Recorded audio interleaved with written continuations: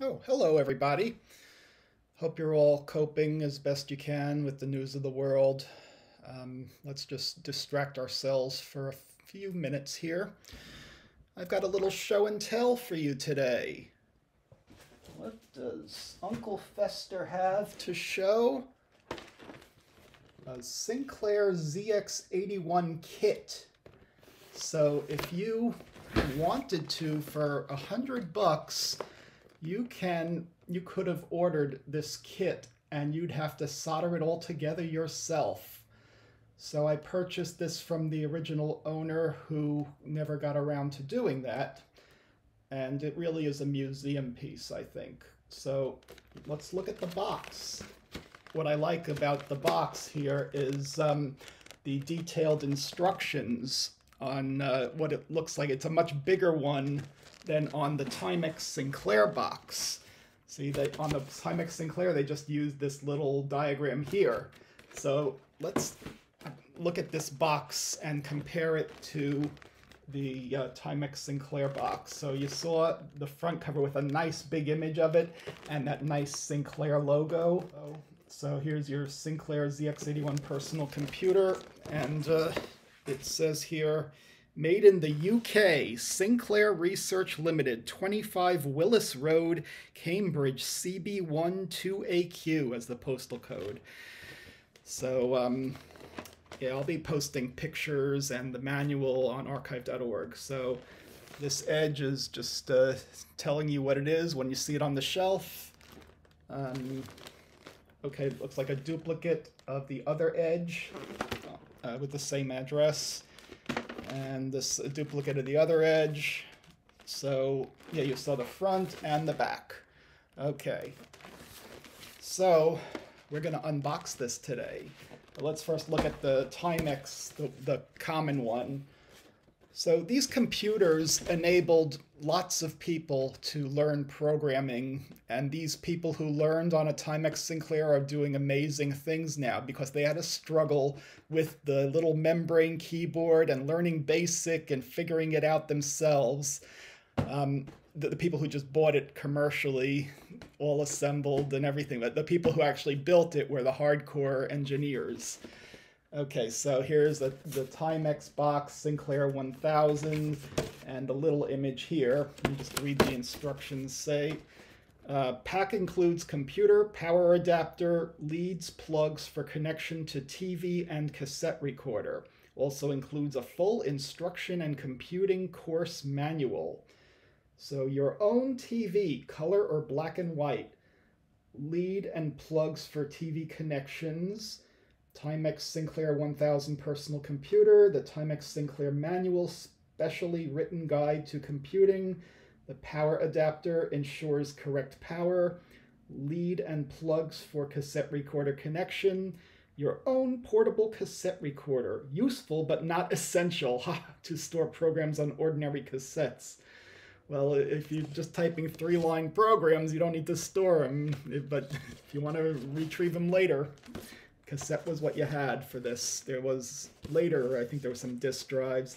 So looking at the difference between these diagrams, how to set up your ZX81 personal computer and just Timex Sinclair 1000 down here. Pack includes ZX81 personal computer, and here it says pack includes computer, power adapter, leads, plugs for connections to TV and cassette recorder. Okay, so I read that in the video, but here um, it looks like exactly the same. No, but this one says mains adapter, not power adapter. So in British, we call it mains. Leads plugs for connection to TV and cassette recorder, and full instructions and computing course manual. Here it says also includes a full instruction and computing course manual. So you could imagine the person designing this box seeing this full instructions and computing course manual. That doesn't make sense to Americans. Also includes a full instruction and computing course manual. Okay, so uh, let's just see what's different about the diagram here. What does it say under here? Personal computer. Sinclair ZX81 personal computer in blue, hard to read yeah, we're not telling you. That, yeah, we're saying it's personal, right? How personal do you want your computer? So here, it's ZX81 personal computer, Timex Sinclair 1000 personal computer, ZX81 manual, specifically written guide to computing, Timex Sinclair manual, specifically written guide to computing, Sinclair mains power, Sinclair mains adapter ensures correct power. Power adapter ensures correct power. And the, the TV set, your own TV, color or black and white, your own TV, color or black and white, then leads and plugs for TV connections is the same. For connections, that's plural here. Leads, this is singular, lead, lead and plugs for TV connection, period. And this one says lead and plugs for TV connections. And did they skip a period? Yes. Or no, it's a tiny period. Okay. Uh, lead and plugs for cassette recorder uh, connections, same text there, lead and plugs. Okay, so those are the differences in the boxes. Appreciate the beauty. Okay, so the back of the Timex Sinclair box has their marketing. Revolutionary technology makes this computer possible. Well, for 1981, 82, 83, it was. The Timex Sinclair 1000 is the first personal computer featuring our new microchip design, the design utilizes four powerful microchips, which we're going to look at on the ZX81 kit, including a unique master chip that replaces as many as 18 chips on other personal computers. That's the ULA chip. The Timex Sinclair 1000 with the optional 16K RAM pack accessory is a compact computer with all the power and high performance capacity you are likely to need for personal use for 40 years. um, 16K RAM, think about that. That's 16 kilobytes, not megabytes, not gigabytes, not petabytes. 16,000 bytes of 8 bits each. But um, the actual computer came with 2K. If you didn't get that 16K RAM pack for 50 bucks or so, you had 2K here, and on the ZX81 you only had 1K. So the ZX81 started off in Europe, and um, it was available in kit form and uh, as well. The Sinclair, I'm not sure if it was a kit or not. I've seen an ad that shows all the parts splayed out for a hundred bucks, and if you wanted to assemble this more. Um, Complete, ready to use, connects easily to your TV set for video display, uses standard audio cassette recorder for program input and recording, complete, easy to understand instruction booklet inside. This is the booklet. And um, I have the booklet for the ZX81, and it's interesting to compare these two booklets so you could see what was changed when the Timex Sinclair came out from Sinclair's original manual for the ZX81 it's interesting to see the little differences in the text. Okay, it's not just a change all ZX81 to Timex 1000. It's more than that. okay. Um, easy to learn. Uses basic computer language, the easiest computer language to understand. Easy to program. Unique, simple way of entering computer instructions part of expandable system, 2K memory expandable with optional 16K RAM pack. Printer can be added. Communications device can be added to gain access to outside data banks and other telecommunications services. The good old days of 300 baud modems and BBSs. Extensive line of Timex software available. Household, business, education, entertainment. So can you run a business on a Timex Sinclair? Think about that.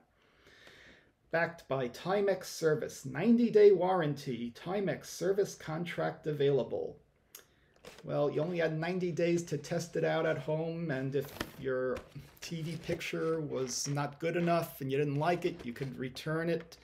Uh, but uh, if there was an electronics issue, and like uh, it was a problem. So the Timex inside box just has this uh, indentation Timex Sinclair 1000. But let's open up the ZX81 box and look at the beautiful indentations on the styrofoam. Okay, I've previously opened this, but I put it back in the box this morning so I can do the video. Okay, so it's a nice clamshell styrofoam. And look at this beautiful logo, Sinclair, with a little dot in the middle. I think that's just beautiful the way that comes out. It's like, wow, I spent a hundred dollars. At least I got a nice styrofoam. I'll probably be exhibiting this at an upcoming VCF or other uh, events. Now, I'm gonna turn the computer so you can see what we're looking at. Okay, get the manuals out of the way. So look inside the box here. So I actually um, took out the chips as um, a, because I didn't want them inside this and I put them into an anti-static bag. Okay, so let's see if you can get a better picture here. All right, so you have this, which has all the components inside.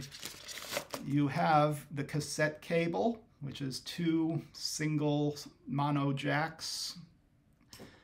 And then you have um, your RCA jack for connecting to the RF modulator. It's a cable. Then, what do we have here? We have, okay, so there's the power supply. This is the beautiful ZX81 power supply with uh, the plug-in cord that's connected to it. And uh, this uh, jack to the same connection that you would use for an Atari 2600, a single uh, plug-in uh, mono jack, which was the power jack in those days. And uh, let's see, it says down here, made in, oh, UK. Okay, so it's British. And uh, Sinclair ZX power supply, very simple with nice little rubber feet. And uh, Sinclair, I like this edge, this little curve up here. It says Sinclair ZX power supply. Input is 110 volts AC, 60 hertz. Output is 9 volts DC at 0.7 amps. So that's 700 milliamps. So I noticed that the, the Timex power supplies, they quoted them in amps back in the day, right before milliamps became popular and it says disconnect from mains when not in use for indoor use only. USA 700. So this is a USA version, but made in England. Interesting. So that's interesting. They say disconnect from your main power when not in use. And I find I do that a lot uh, with wall warts and transformers because it saves power, because otherwise it's feeding power into the power supply all the time. So let's put this aside. Now, this is the RF modulator. I'm keeping these in the bag. Um, I may, when I exhibit, I'll keep all the bags together and take it out. But uh, you had your TV or computer switch, and you could connect it to an antenna on your back of your TV. And I guess this would go to the UHF antenna. Interesting. Yeah, so um, there is no coax. it's only antenna, and your um, RCA jack down here connects to the RCA cable. Okay, then there's another bag which has the heat sink that's needed for the um, voltage regulator. And here's the internal RF modulator. So I'm not going to open these bags, I'm just showing you what's in them. And then there are the connections for the keyboard and the audio jacks and the power jack. Okay, so those little baggies are in there. And then um, nice plastic wrapped ZX81. And I'm just gonna let you appreciate the design. I'm gonna take it out of the baggie, leave the chips in here for now. So look at this beauty. Um, so this is before the keyboard is installed. There's a nice Sinclair logo raised. I guess that's embossed, the, the ZX81, and uh, the shape. So the manufacturing to get that shape, whatever molds they used. So it's a clam. It's two two pieces, and on the back, here's the back. Um, let's see. You plug in. Yeah, it's got space here. Let me just see what's written on it. Uh, nothing up top. Okay, it says Sinclair ZX81 personal computer. Use only approved AC adapter. Patent pending. Made in UK. Well, only the approved one. If it's 40 years old, you may not want to use it if it's been through something or, or if an original owner used it a lot. So here, this comes off. This is the top piece, all plastic. You got stand uh, the screw holes there with these raised standoffs. So think about how much it costs to set up manufacturing for this. Okay, and now underneath that you have all your parts neatly in this tray, but I'm going to show you the keyboard membrane. This is a beauty. The only difference that I found to a Timex Sinclair is that this is called New Line instead of Enter or Return. Uh, what do they call it? It's uh, Enter, I think. Yeah, it's Function and Enter. So this has Function and New Line. So the British call it New Line, the United States call it Enter. And this is interesting, the, the keyboard electronics connector to the motherboard. It's really flimsy paper. and uh, when you get thing, other computers that people have used, that that can easily break. So it's nice seeing a pristine keyboard membrane. And then if you look closely, you can see some traces inside the membrane. And people get replacement keyboard membranes, but this is an original from the kit that you had to put together yourself. Um, let me show you the chips. So I put them in this anti-static baggie. They came in a little, they came in this little plastic baggie.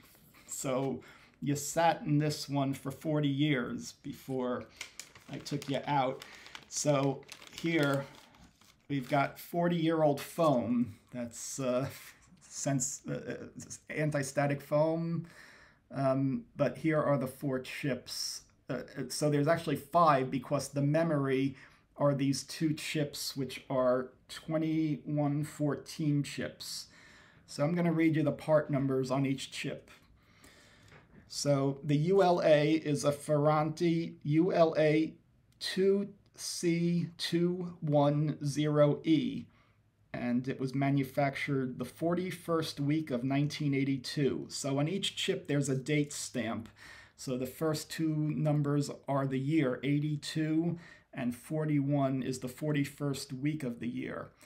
Now I wonder what's going to happen in 2100.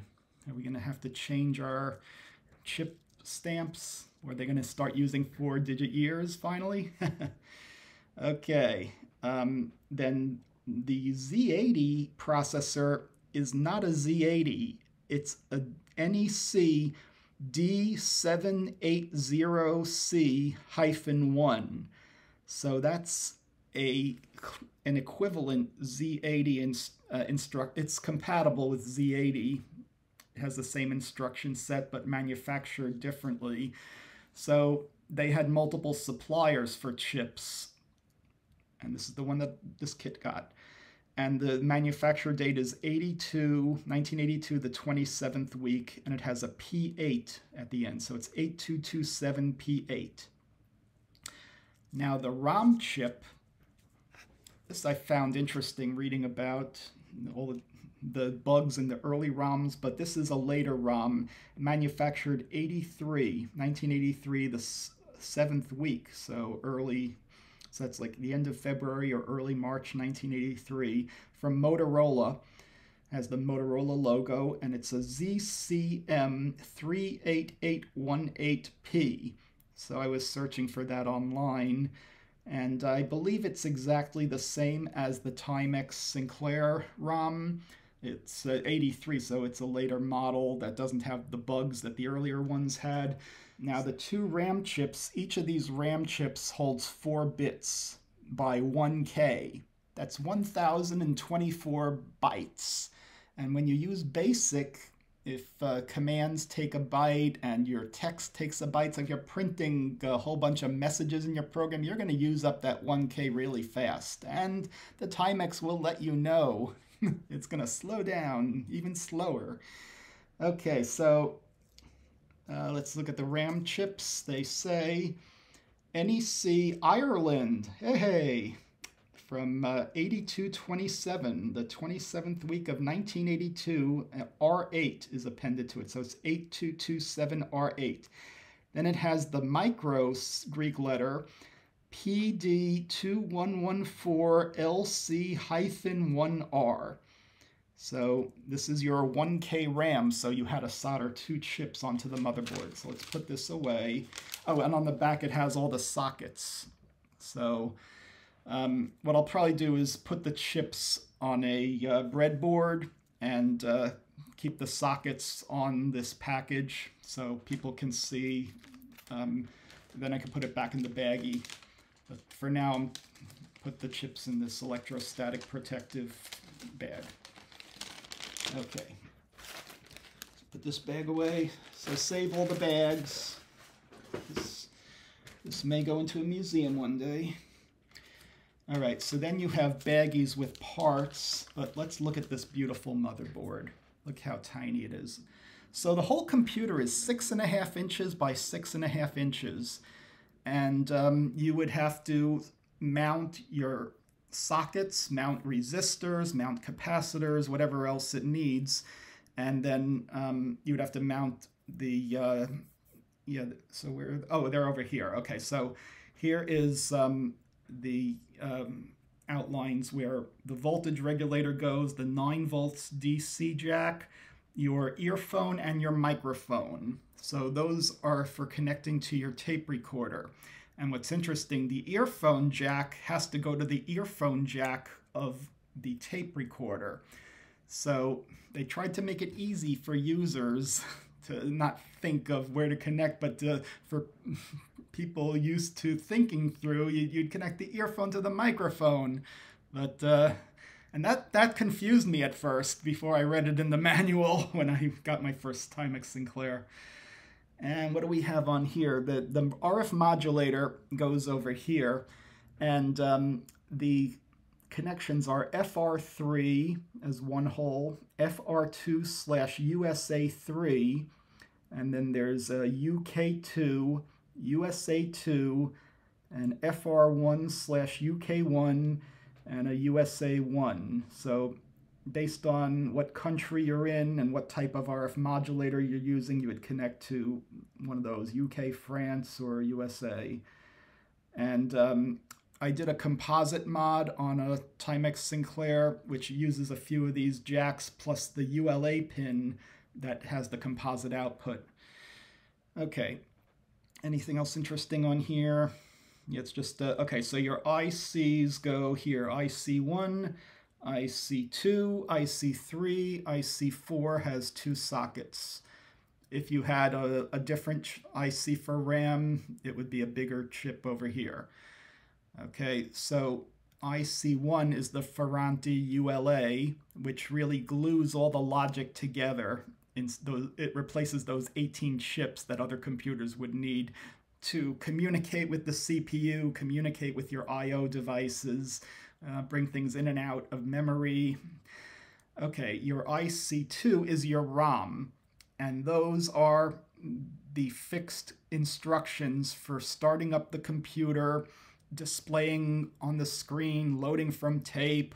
All that machine code is in the ROM. Okay, then your CPU is IC3, and this is the Z80 or the equivalent of a Z80, which they gave us in this kit um, then your RAM. That's your read access memory, random access memory, where you'd store your program code or your data as it's using it interactively. And your keyboard connector is down here. You have to put in the sockets very carefully, and the membrane keyboard will go in there. And you need a heat sink over here for the voltage regulator. And then the uh, peripheral um, expansions um, fingers are here, so you'd plug in your 16K RAM or your printer there. Okay, anything else interesting here? Um, just other than the labels. Uh, let me just see. Sinclair ZX81 is written on it right over here. And on the back, look at this back, these traces. Isn't that just beautiful? Okay, it says uh, Sinclair 1980, issue one, Sinclair, yeah, copyright 1980, and it has a PCP on it. Uh-oh, it's taking drugs. Uh, and it has a, a logo which has a large, looks like a large P going around a C and a B. So I guess that's the manufacturer of the printed circuit board, but let's see if you can take a closer look up here. Yeah.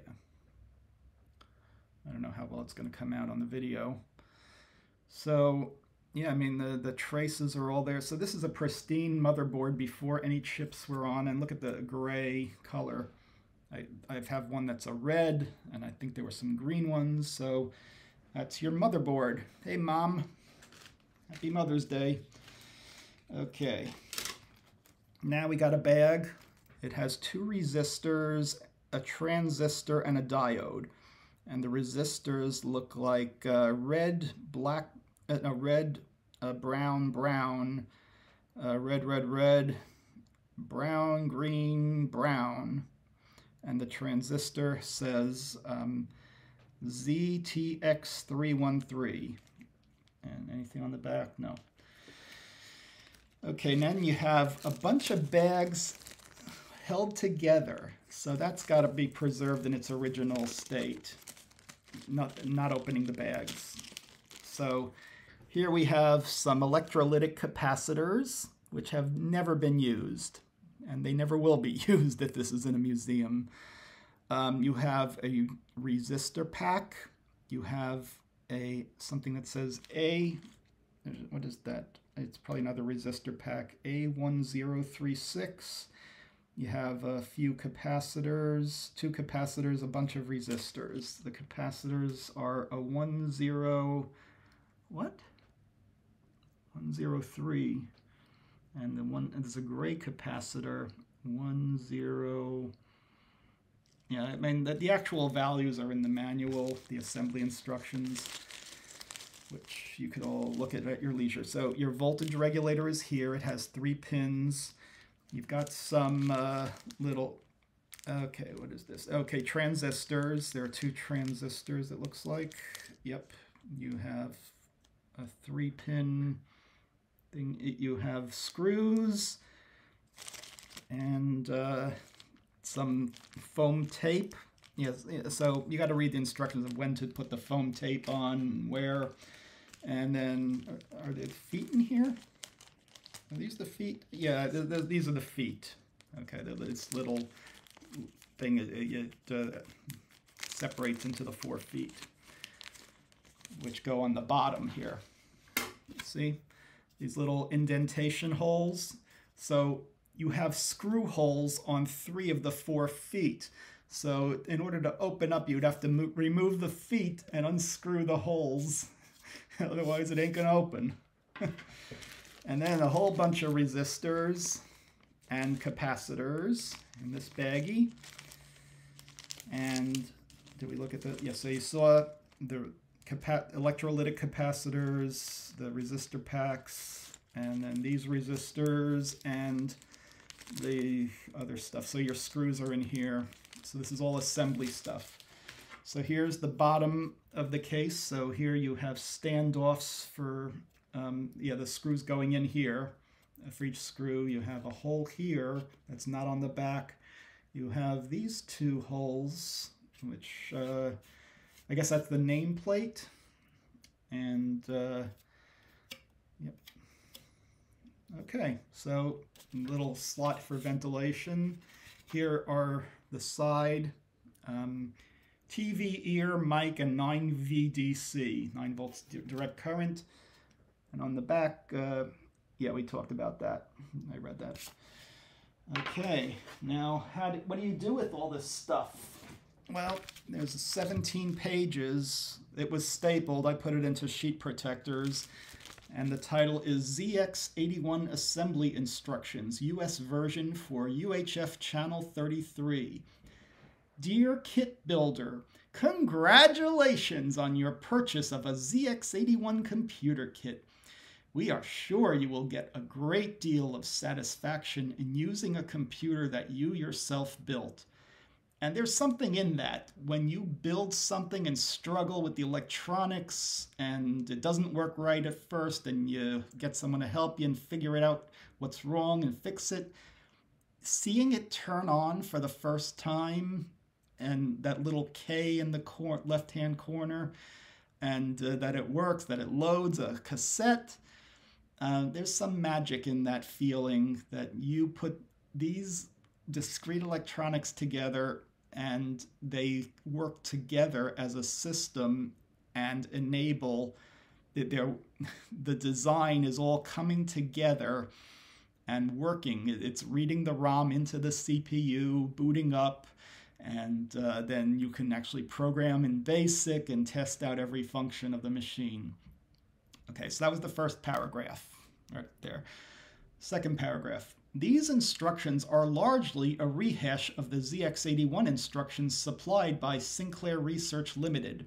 Although Sinclair's instructions are complete, we feel this information is not given in the best format and the best sequence in which it is required when actually assembling your kit. So mostly what we have done is present the same information in a linear fashion, pointing out what you need to know in the order you need to know it. If you have never soldered before or built an electronics kit before, it would be best to seek the aid of someone with experience to help guide you. If you have even a moderate amount of experience, you should be able to assemble your kit in about three hours of easy work by just carefully following these instructions. Well, that's assuming you have electronics and soldering experience which I have been able to get by going to repair workshops at the Vintage Computer Foundation. And then it says, Happy Kit Building. Enjoy.